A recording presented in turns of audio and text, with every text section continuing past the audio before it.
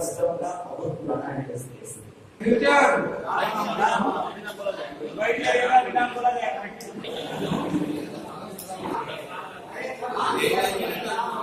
आज बड़राव विकास खंड की लगभग छियानवे दुकानें हैं। इन छियानवे दुकानों के डिपॉज मशीन का वितरण किया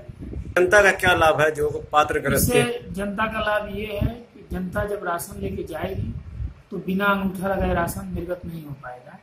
जिससे पूरी पारदर्शिता रहेगी कि कौन राशन लेके गया है और कौन राशन लेके नहीं गया है, इसकी ऑनलाइन रिपोर्ट कभी भी कहीं भी देखी जाएगी